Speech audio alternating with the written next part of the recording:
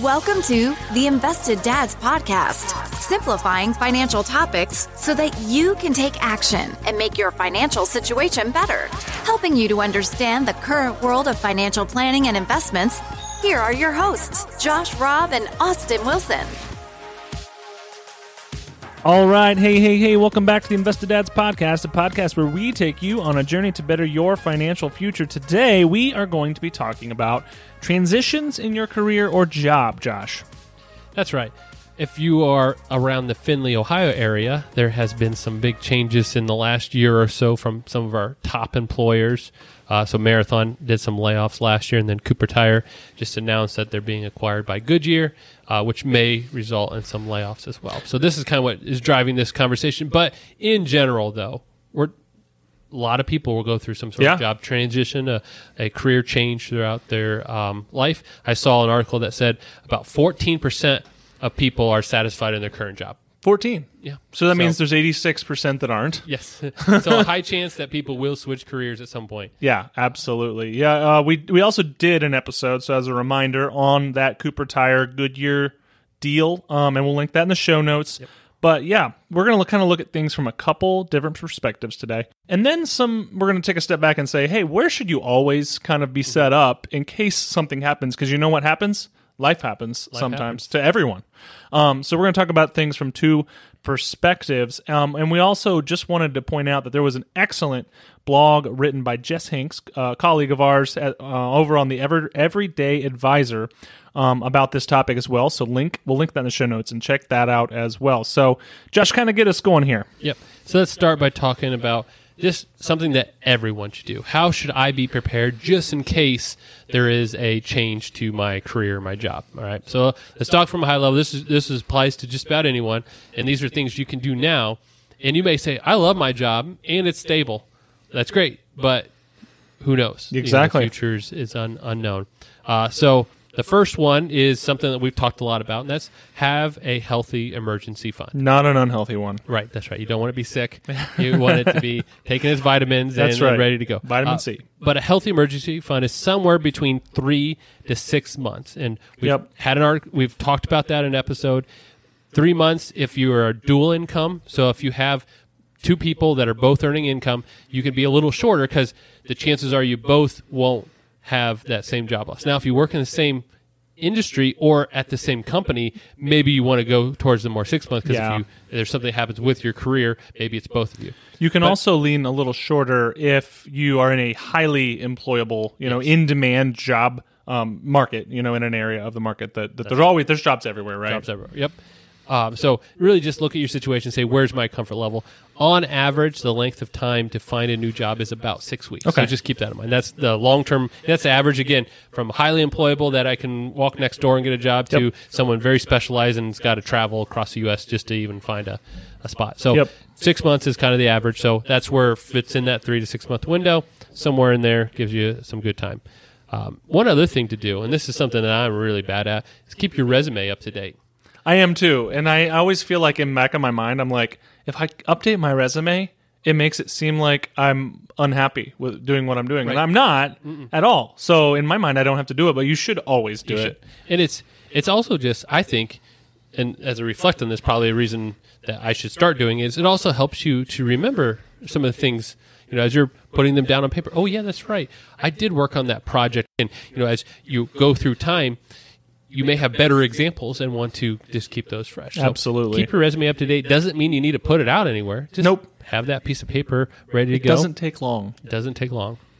Uh, know your fine print. What that means is every job you have benefits. You have different things that are specific to that job. Know what those are. Oh yeah, You may be missing out on benefits because you're not taking advantage of them. Does your company offer discounts for certain things just because you work there? Yep. Take advantage of them. yeah. That is, and that is something your HR contact wherever you work is going to be very happy to answer a question. They would probably they would prefer you ask the question than not. Yes. So uh, there's probably a lot of benefits that a lot of people's companies offer that they're not taking advantage of, and that stands to be for the people who are staying in their job and not having and going to be there forever or whatever. Or if you're transitioning, that's the same thing because you need to know that side of things on the way out as well. So an example of that, I worked at a company where you get an 11% discount just because you worked for that company. Had I not known that, I could have, you know, been paying an extra 11% every month on my cell phone bill, and it was just a perk that they had negotiated. So just know what's out there. Know those special benefits. Know if you have to do certain things. If I get a physical every year, do I get a discount on my premiums for my insurance? All those type of things. On the other end, know the fine print on what your restrictions are. So if I was to go look for another job, is there kind of a two year I can't be in the industry type of thing? Non-disclosure. Yeah, uh, what sort are those of, things there? Non-compete. Just yep. Know what you're getting into in that position. Um, so know the fine print. I also wonder if you are if if you're being asked to leave as part of restructuring or whatever. I wonder if a lot of those restrictions are lifted, as they probably Sometimes, are. yeah. yeah. And if the company is going out of business, I think It doesn't really matter, A mute point, right? anyways. Um, number four of this kind of list of things you can do, anybody can do while they're still employed. Uh, networking. Ooh, that's been a fun one during huge. COVID. Yeah. So it's it's harder, definitely. But the idea is, you know, get to know people in the industry Yeah. and um, get yourself out there because there may be a time where you may be asking for a job, or there may be an opportunity that pops up where they say, "Hey, you know what? I've done a lot of stuff with you. I think you're an awesome employee. I would love to." Do this with you, and so just network out there, see, see what's going on. It may benefit your current career, or it may be an opportunity down the road. Yep. And then finally, again comes back to something that hopefully everybody can do is know your budget monthly, but also know what things are adjustable. Oh, yeah. If I were to all of a sudden lose my job, what are those things that right away I could be just cutting back on, switching, adjusting? What are those things that I'm obligated to do? Mortgage, insurance, the payments that can't change. Yep. But what are those things that I can say, you know what? If it gets tight, here's the things I know I can slim down on. So, for someone who's employed, loves their job, not looking around, these are just some of the things you can do just to be prepared for those what ifs, those big things, and also just in general, a little more peace of mind, having that emergency fund there, knowing where your budget is, and knowing that I have some wiggle room if I need to. Yep. Those are it's it's not necessarily you know doomsday thinking to be thinking about these things. It's just good to be prudent about you know thinking about all of the outcomes that can happen. Yep. And you, going back to your resume, even having an up to date resume, you may be applying for a board position or something on Yep. there to say, oh, you know what? Here's some volunteer experience I've done, or here's why it, it matters to me. Or an internal position. even internal. You're right. You're going to want that as well. So, yeah, th- that's a great list, Josh. Thanks for sharing. Yep. All right, let's take a quick break. Do a dad joke of the week Ooh, I've been ya. looking forward to this since last Thursday. since the last dad joke of the week. So rest in peace. I got a little shout out. Uh oh. Yeah, it's um, boiled water. Okay. Yep, you will be missed. you, you will You be. will missed. be missed. That's funny. Well, There good you one. Josh. I like that one. So play, we- play on words. It's a play on words. Yeah, missed versus missed. missed. It's good. Yeah. So yes, we kind of start, started looking at you know how you can you know be prepared as, as you're not even necessarily in that situation. Um, let's look at a couple more things that we need to be doing, regardless of what our job situation is and what look what someone maybe in the beginning of stages of a layoff should be doing right now. So I got a list of six things we're going to go through here. Just take this with a open mind that these are things that could really uh, they could really set you up to to go further and to do better in that transition. So, number 1, review your employment documents. So that can be, you know, what is offered as far as what your if if there's a restructuring going on and you've got a deal for you're being your positions being eliminated or whatever, know what is being offered for you in your situation based on maybe how long you've been there uh, or whatever, as well as like Josh had mentioned earlier, what are your restrictions as you might maybe you have restrictions in the industry or in the field or in the business. Um, that looks different for every company. It looks different for every industry but be sure that you understand what those are um, so that you can have the most options available to you on the other side of that Yep. And along with that, you know, there may be a severance package or something. Times those may be negotiable. So when you're going through this process, you're meeting with your employer, whoever it is. Don't be afraid to negotiate. There may be things they're willing to do uh, or have available to them where it's flexible. You may say, you know what, I'm more worried about healthcare costs. What can we do with this package to make sure my healthcare is covered, or things like that. Have that discussion. Don't be afraid to talk and ask about it. See what is available. Number two, another thing to do is to talk to creditors. So suppose you have a loan outstanding on a variety of things. It could be a house, could be a car, could be a personal loan, could be anything. Yep. Talk to your creditors, even if you have the ability to pay it off now or to pay, you know, as as the payments are due. They just to let them know that you're going through this transition mm-hmm. because they may be more flexible um, if needed. You know, hopefully you won't need that, and we would not want anyone to have to, you know, need to ask for that. But they may be, and that could save you money on extra fees and extra costs if necessary. and they're more likely to work with you if you're not late on payments. If Yep. you're calling up and say, "Hey, you know what? I just got laid off. You know, is there anything we can do to make this easier to make sure I can keep paying?" Because what this whoever this debt collector is, they want to get paid back because if they sell it to a debt collection agency, they're getting pennies on the dollar. Yep. If they can renegotiate with you and get you to keep paying, they're going to get more money in the long run. So you may even get, be able to get a lower interest rate, get like a couple months with no interest penalty. You know, you may be able to work it out. And if you reach out to them earlier and get that and say, you know, I'm letting you know now because you know I'm I'm on time, everything's good, but I just want to give this heads up. Can can you work with me? You may be more likely to get something then than to say, "Hey, I know I haven't paid in the last three months. Is there anything you can Right. do?" And they're probably already in the process Yeah. of getting you out of there. Right. Be proactive. Yes. Be proactive. Number three, look into unemployment in your state. So when you are let go outside of your fault, Yeah, this is not you quitting. yeah, then let go. then you are usually eligible for unemployment, and that varies by state. And the unemployment also the different the amount's going to vary by state and situation as well, and income brackets and all of that things. But generally speaking, you're going to get it. You're going to qualify for a percentage of your however many months average s- salary or whatever. Um, that's different for every state, but look into what your state the requirements are, what you've got to do to continue to collect that, how long you can collect that. Don't forget about taxes. Um, we've Make been sure in a we've been in a unusual situation with COVID as it relates to unemployment taxes, but usually in most cases that is taxable income. So don't think it's just free money forever. Yep. Um, but yeah, look into what that is for your state. We know it's different for every state. Um, Ohio specifically, um, we we know is different. understand what are my obligations going back to what i have to do you know is there a requirement that i have to have so many job applications sent out or I have to have an interview. What are the things i need to do to stay on that unemployment until i find that job? You're paying for this unemployment through your taxes and through working. So don't feel like man you know i shouldn't be on this. It's not right for me. That's what it's set up for. It's for the interim period that on average six weeks where I'm in between jobs to help keep things going. So if you qualify for it, utilize it. Use that to your advantage to say, okay, maybe I don't need to tap as far into my emergency fund. That can actually stay for a different emergency. Right. Those type of things. But again, like Austin said, know what it is. Talk through. There's usually a website, um, people you can call. It's pretty busy right now with everything that happened with COVID, but in general, it's usually they're pe- pretty helpful people there to get you. All right, number four, look into Cobra. And by Cobra, I'm talking Shelby Cobras. You got to look into them. You want a fast, loud car. That way, you can get to the job interview before anybody else. That's right. No, for real. Uh, Cobra is a five letter acronym that makes everyone happy because in the finance industry, everything's acronyms and none of them right. make sense. This is actually a government one, which makes it even more Exciting. exciting usually. So, Josh, what is Cobra and what does it stand for? I'm sure everybody knows, but COBRA stands for the Consolidated Omnibus Budget Reconciliation Reconciliation Act of 1985. Obviously, that's what it I mean, it's pretty much Everyone spelled knows out that. there.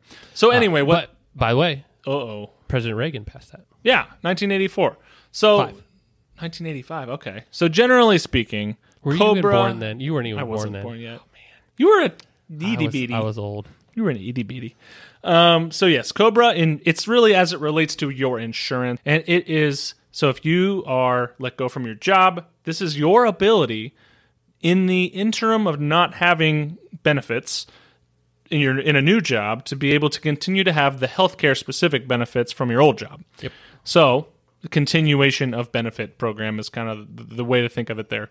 So as you're looking for jobs, or even there's usually a window at a new job where you're not going to be eligible for health insurance or retirement or whatever that may be. Through that period, you can pay usually the full amount of the premium plus alpha because mm-hmm. it's very expensive They, typically. they allow the company to charge, I think it's 110%, somewhere right around there of the premium. Right. So that covers all the costs that would be associated with someone helping run the program. Yep. So the company itself is not out anything for you continuing on the plan. yes. So yeah, you can essentially pay to be on your old insurance longer while you are mm-hmm. unemployed. You get about 18 months normally Yeah. normal normal time frame. And we're going to reiterate, it is not cheap. You so you may say, "Well, I'm only paying 60 bucks a month for my insurance at work." Well, that's cuz the company is covering some of those premiums. Or most of them. You're Yeah. going to be paying the full cost that they have per person for you for that insurance. And another thing to consider is your if you have a family on that plan, they may have been uh, subsidized in some way, shape, or form. Also, so you could it, you could be see a huge spike. So generally speaking, it's best to keep that as short as of, of a time as possible.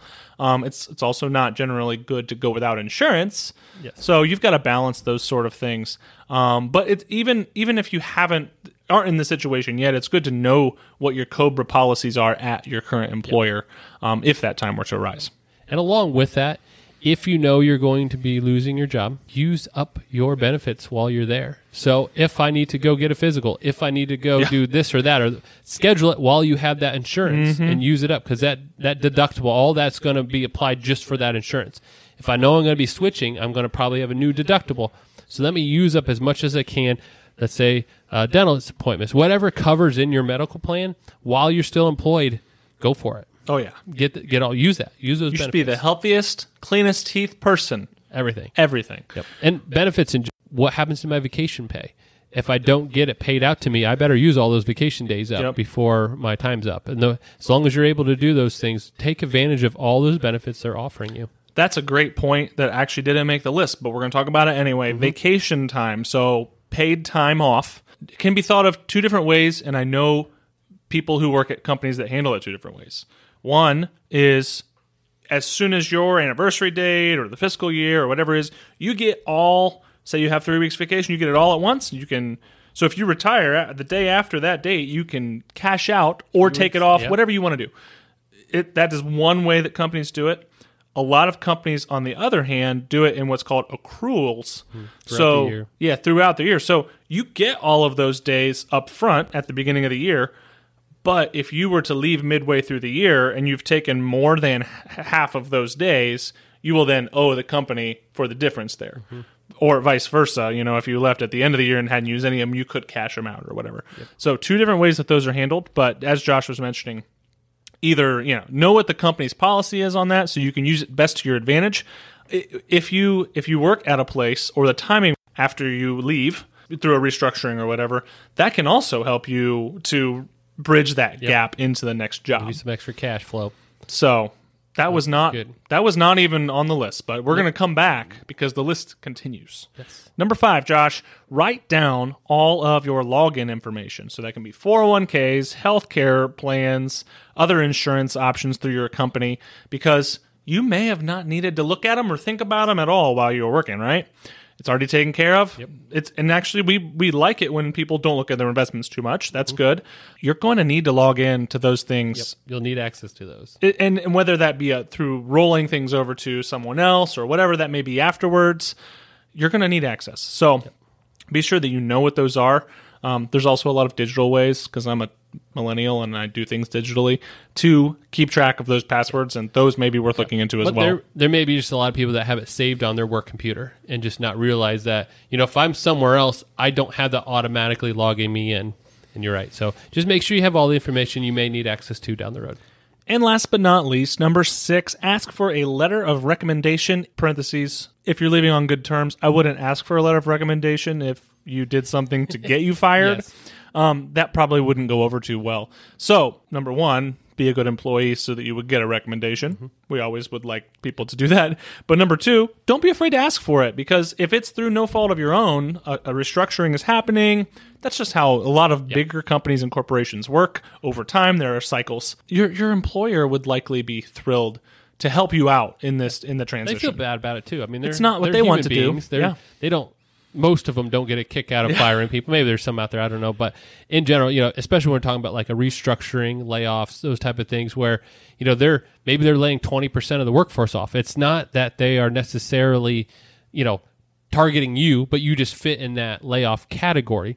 And so you're saying, hey, you know, no hard feelings. Would you be willing to write this for me so that as I'm looking, I have this additional piece that may get me above everybody else and help me out? And I'm sure they'd love to do that. Again, if you leave on good terms, you know, if your boss hates you, then you probably don't want to do that.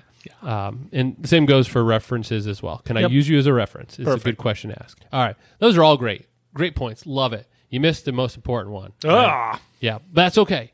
I'll talk to you about it. That's good. That's the most what I got important you one for. is if you're going through a transition like this, make sure you talk to your advisor.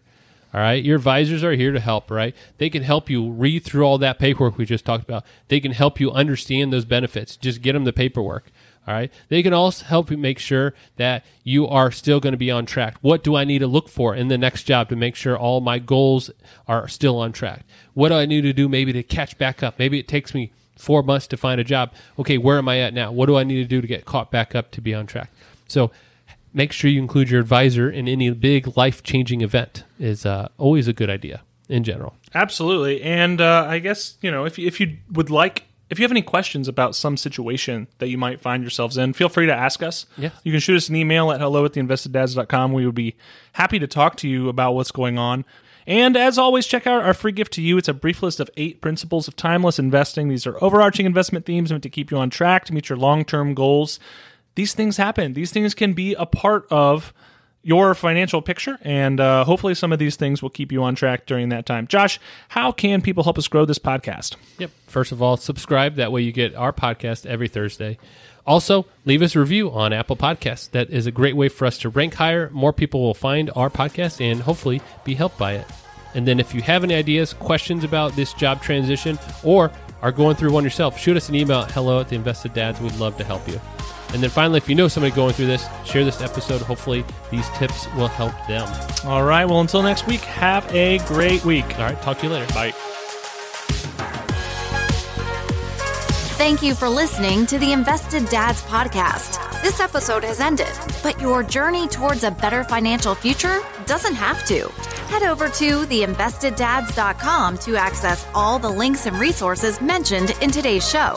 If you enjoyed this episode and we had a positive impact on your life, leave us a review, click subscribe, and don't miss the next episode. Josh Robb and Austin Wilson work for Hixon Zuercher Capital Management. All opinions expressed by Josh, Austin, or any podcast guests are solely their own opinions and do not reflect the opinions of Hixon Zuercher Capital Management. This podcast is for informational purposes only and should not be relied upon for investment decisions. Clients of Hixon Zuercher Capital Management may maintain positions in the securities discussed in this podcast. There is no guarantee that the statements, opinions, or forecasts provided herein will prove to be correct. Past performance may not be indicative of future results. Indices are not available for direct investment. Any investor who attempts to mimic the performance of an index would incur fees and expenses which would reduce returns. Securities investing involves risk, including the potential for loss of principal. There is no assurance that any investment plan or strategy will be successful. Maddie, you're going to be in the office soon. Maybe by the time you edit this.